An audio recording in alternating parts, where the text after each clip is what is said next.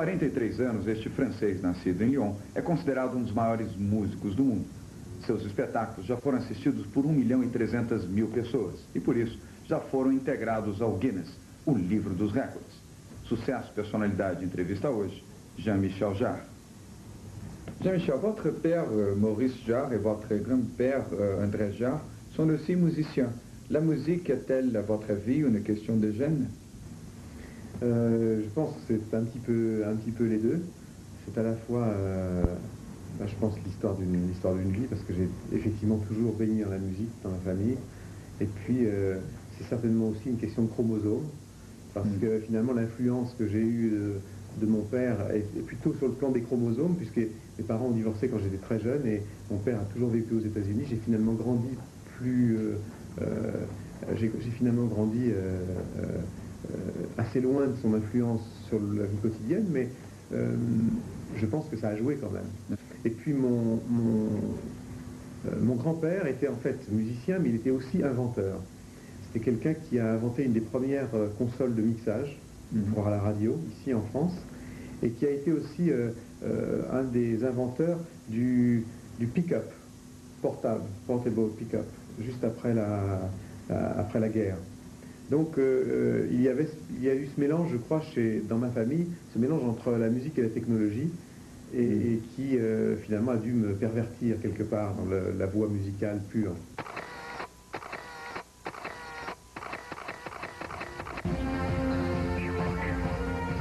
Vos premiers instruments ont été acoustiques électriques, guitare et piano. Comment avez-vous réalisé le passage vers les instruments euh, électroniques Je suis... Euh, je m'étais toujours intéressé à la manière de transformer le, son. C'est-à-dire que pour moi, j'ai toujours considéré la musique, finalement, pas, tellement en termes de, notes ou en termes de son, euh, en termes de code ou de solfège, mais plutôt en termes de son. Et j'ai toujours aussi considéré la composition comme finalement un petit peu le travail d'un peintre où, les sons seraient un petit peu comme des, comme des acteurs ou comme des couleurs que j'assemblerais sur un tableau ou comme dans une mise en scène de théâtre, où finalement on fait bouger des acteurs sur, un, sur une scène. Et bien là, mon travail de musicien, j'ai toujours vu comme le fait de faire sur une scène imaginaire, invisible, de mettre, de mettre des sons, de les faire bouger un peu comme des acteurs. Donc ça, quand j'ai découvert la musique électronique, ça m'a paru évident qu'il fallait que je, je travaille avec ces, avec ces instruments, parce que pour la première fois dans l'histoire de la musique, les instruments électroniques vous permettent d'être votre propre craftsman, votre propre luthier. Mhm. C'est-à-dire, non pas de jouer seulement sur des instruments dont le son était fait depuis, euh, depuis toujours, mais de pouvoir fabriquer ses propres sons. Vous êtes influencé par la musique classique, les rock et aussi le jazz. Quels sont les musiciens ou compositeurs qui vous admirez le plus dans chacun de ces courants? Alors, dans, dans le jazz, c'est certainement quelqu'un comme, euh, comme Miles Davis, qui est, mort récemment. Et pour moi, je l'ai toujours considéré comme une sorte de Picasso du jazz. C'est quelqu'un qui a ouvert, ouvert des tas de portes, qui n'était pas, pour les puristes, le, plus grand technicien du monde, mais on se fout de la technique. Euh, on se fout du, trompettiste qui est capable de jouer euh, euh, dix fois plus vite que son voisin. C'est pas ça la musique. et lui a décidé justement parce qu'il n'arrivait pas à un certain moment de sa vie à jouer plus vite, aussi vite que certains joueurs de bebop le faisaient, au contraire de mettre euh, euh, de l'espace entre les notes. Vous savez, les Chinois disent, ce qui compte dans la musique, c'est le silence entre les notes. Et Miles Davis a été le premier musicien de jazz à mettre du silence entre ses notes. Et c'est pour ça que pour moi, c'est le plus grand. Euh, en ce qui concerne, en ce qui concerne le, rock, j'aime beaucoup des gens comme Peter Gabriel, comme Brian Eno, comme Laurie Anderson aussi. C'est plutôt dans cette... je pense qu'il y a une cohérence d'ailleurs dans tous ces, gens. Et je me, je me, sens très proche de d'eux. Mais il y en a beaucoup aussi. J'aime beaucoup aussi dans un autre domaine, euh, on parlait du hard rock tout à l'heure, euh, euh, dans un autre domaine, je trouve que tous, les, jeunes groupes de hard rock aujourd'hui sont intéressants parce qu'il y a une sorte de spontanéité, de fraîcheur qui, est très, importante à notre époque. C'est-à-dire qu'à une époque de plus en plus soft, je pensais bien d'avoir un peu de hard. Et, et puis dans la musique classique, il y a beaucoup de gens que j'aime beaucoup, comme Stravinsky, comme Mahler, comme euh, Beethoven. Si j'en avais trois, je garderais peut-être cela. Mm. Et puis il y a la musique, et puis il y a la musique ethnique aussi. Il y a la musique, euh, il y a la musique des pays qu'on connaît moins, nous, les musiques africaines, les musiques indiennes, les musiques chinoises. il y a la musique française, il y a la musique brésilienne, il y a le, il y a le flamenco, il y a, il y a beaucoup de choses. Votre musique semble résister au mode. Votre dernier concert à la Défense a eu une grande audience. Étiez-vous en train de devenir un classique? Ça, euh, euh, si jamais ça arrive, j'espère que ce sera le plus tard possible et c'est pas du tout mon obsession.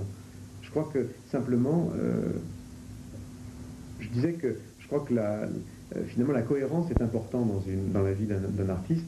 On parlait de Miles Davis tout à l'heure. Quelle, cohérence finalement dans, sa vie? Il est passé à travers les modes parce que justement il ne les suivait pas. Donc je souhaite dans ma vie pouvoir avoir la même cohérence. C'est difficile.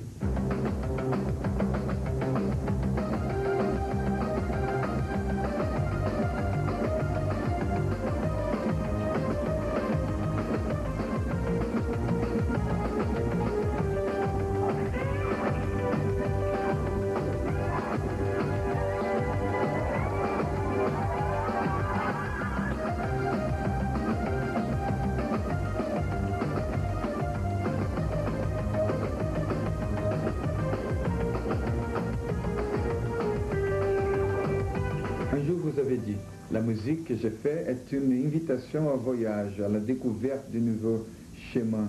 Quels sont ces chemins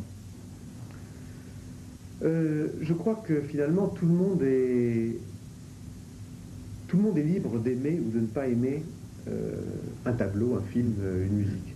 Je crois que le, le, le, goût est avant tout une affaire personnelle. Donc, vous n'avez pas de leçon à donner aux gens. C'est la même chose. On parlait de l'écologie tout à l'heure. Moi, je déteste les gens qui me donnent des leçons d'écologie, ça me donne envie de retourner ma poubelle sur le trottoir. Euh, je crois que euh, en matière de musique, de cinéma, c'est la même chose. Je crois qu'un artiste peut euh, finalement inviter, un artiste peut inviter le public à faire un voyage, mais il faut toujours que l'artiste laisse le public libre de son itinéraire dans sa tête. C'est-à-dire que, le, public puisse être libre de suivre, de faire son chemin, à travers une peinture qu'on aime, à travers un film qu'on aime, à travers une musique qu'on aime, devant le même tableau, devant la même musique, vous aurez, vous aurez j'aurai une réaction spécifique, une réaction différente. Et je crois que pour moi, la chose la plus importante, c'est justement de laisser ce degré de liberté au public. Jean-Michel Jarre é um desses fenômenos musicais surgidos nos anos 70 e produto da grande, do grande interesse que a França tem pela música uh, de vanguarda. O Jean-Michel Jarre, que é filho do Maurice Jarre, não seguiu a trilha do seu pai, que é autor de filmes famosos como Lawrence da Arabia, Doutor Givago, mas preferiu a música uh, através do sintetizador, e de uma certa forma ele recebeu uma forte influência da música concreta, já que ele estudou com Pierre Schaeffer, um dos primeiros músicos concretistas. E isso se desenvolve na França de uma forma muito positiva, talvez até de uma forma mais ampla do que nos Estados Unidos. A prova é de que lá existe o IRCAN, que se dedica às pesquisas mais de vanguarda. E o Jean-Michel Jarre é um típico produto desse, desses estudos, dessa procura, dessa busca dos franceses pelo que há de mais ah, ah, novo em matéria de música. A seguir, quanto custa um mega show de Jean-Michel Jarre?